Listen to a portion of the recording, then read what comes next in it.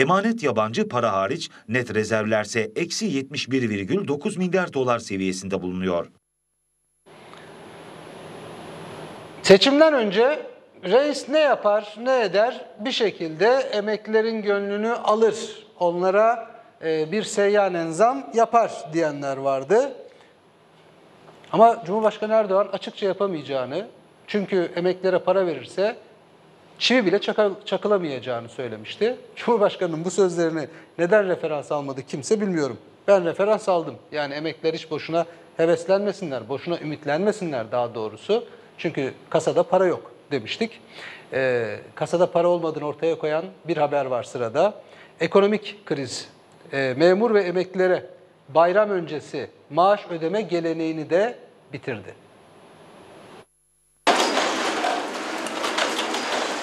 Dar gelirli yurttaşı vuran ekonomik kriz hazineyi de vurdu. Hazine ve Maliye Bakanlığı maaşlarını bayramdan önce almayı bekleyen milyonlarca memur ve emekliyi hayal kırıklığına uğrattı.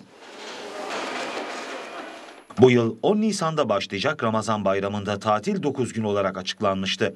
Her yıl olduğu gibi bu yılda bayram tatilinden önce maaş almayı bekleyen memur ve emeklilere kötü bir haber geldi. Hazine ve Maliye Bakanlığı Muhasebat Genel Müdürlüğü tarafından ilgili birimlere gönderilen genelgede banka hesaplarına aktarılan maaş ücretlerin ilgili bankalarca personele her ay olduğu gibi bu ayda zamanında ödenmesi sağlanacaktır ifadeleri yer aldı. Geçtiğimiz yıllarda memur ve emekli maaşları bayramlardan önce hesaplara yatırılıyordu. Hazine ve Maliye Bakanlığı'nın bu kararıyla maaşlar bayramdan sonra ödenecek. Hem bayram hem de 9 günlük tatil planı yapan milyonlarca emekli ve memursa bu karar sonrası hayal kırıklığına uğradı. Sıcak bir gelişme var. O da Merkez Bankası'nın Cumhurbaşkanı'na gönderdiği mektup. Evet, e, Merkez Bankası e, Cumhurbaşkanı'na açık bir mektup gönderdi. Kamuoyuna açık bir mektup gönderdi. Anladım, yani bunu ben daha önce hatırlamıyorum böyle bir mektubu.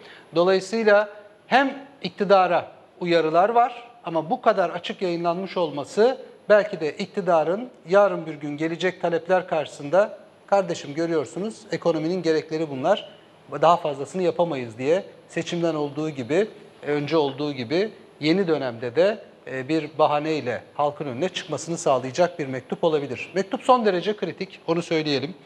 E, Türkiye Cumhuriyet Merkez Bankası hükümete gönderdiği mektupta orta vadeli programda ilan edilen orta vadeli hedeflere dezenflasyon politikasıyla uyumlu olacak şekilde bağlı kalınması, fiyat istikrarının tesis edilmesinde kritik rol oynayacak diyor. Yani diyor ki, önümüzdeki dönem asgari ücretle çalışanlar var açık olarak ifade etmiş. Yeni bir zam beklemesinler. Biz ortalı vadeli programda ne söylediysek onlar uygulanmalı. Sıkı para politikası uygulanmalı. Faiz konusunda geri adım atılmamalı.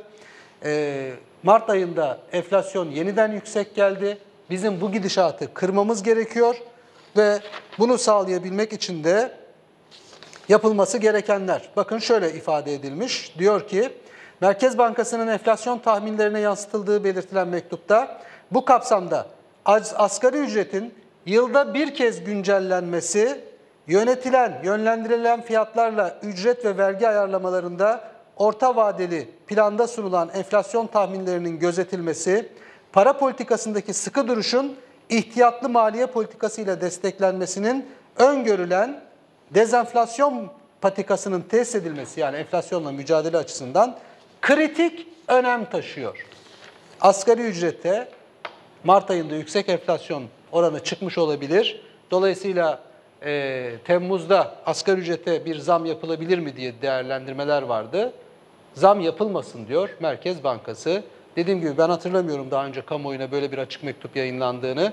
Herhalde iktidarın da e, zam yapmak isterdik ama yapamıyoruz görüyorsunuz. Merkez Bankası elimizi tutuyor diye açıklamasının zemini hazırlanmış. Merkez Bankası'ndan hükümete açık mektup asgari ücrete bir daha zam yapmayın. Yani 2024 yılında ikinci zammı yapmayın çağrısı var. Evet bu önemli ve sıcak gelişmeyi aktardık. E tabii Merkez Bankası rezervlerini paylaştık. Hazinede para yok. Maaşlar bile zamanında daha önceki olduğu gibi zamanda demeyeyim de zamanından önce bayram niyetine ödenemiyor demiştik. E, tablo bu. Ve kuşaktan kuşağa devreden bir yoksulluğumuz var. Bunu TÜİK verileri ortaya koydu. TÜİK çok özel bir çalışma yaptı. Ee, çok boyutlu bir çalışma. Yani içine girmek lazım, bakmak lazım. Farklı farklı alanlarda farklı farklı bilgiler var. Kuşaktan kuşağa yoksulluk ve zenginlik nasıl aktarılıyor? Ee, 30 yıl önce 14-15 yaşında yoksulken şimdi zengin olanların oranı %15 civarında. 100 kişiden 15'i artık zengin ama 85'i hala yoksul. Zenginlerde de hemen hemen benzer bir tablo var. Yani aslında zenginlik de yoksulluk da kuşaktan kuşağa aktarılıyor. Zenginler daha zengin çocuklar oluyor, yoksulların daha yoksul çocuklar oluyor.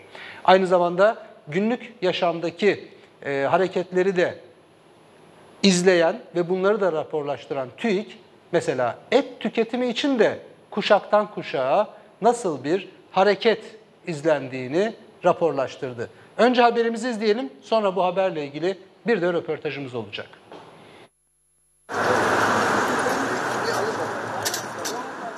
Türkiye İstatistik Kurumu'nun hazırladığı rapor, iktidarın ekonomi politikaları nedeniyle yoksulluğun kuşaktan kuşağa aktarılarak devam ettiğini gözler önüne serdi. Ne markette alabiliyorsun ne pazarda alabiliyorsun. Düşünsene şu nedir ki Allah'ın seversen. Ne kadar verdiniz buraya? 5 lira verdim ne olacak? Bir akşam yemeğiniz. Evet bir, bir akşam iki akşam neyse bir tek kişiyim zaten ama işte olmuyor olmuyor.